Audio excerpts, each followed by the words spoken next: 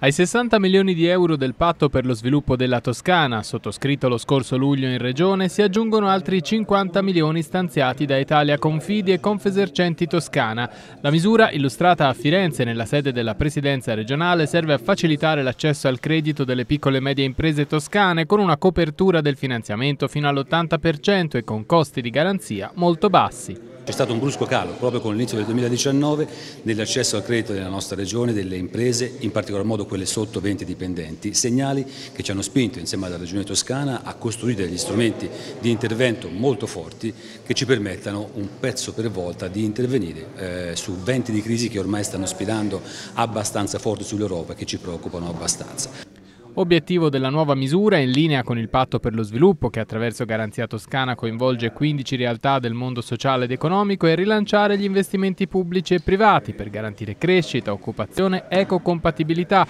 e mettere al sicuro le PMI da eventi di crisi che aleggiano sui mercati. Si mette a disposizione di tutte le imprese della Toscana non solo per investimenti ma anche per la liquidità prestiti che servono per, per, il magazzino, per pagare, per un quantitativo di risorse che avrà un moltiplicatore, io credo sicuramente intorno a 10, quindi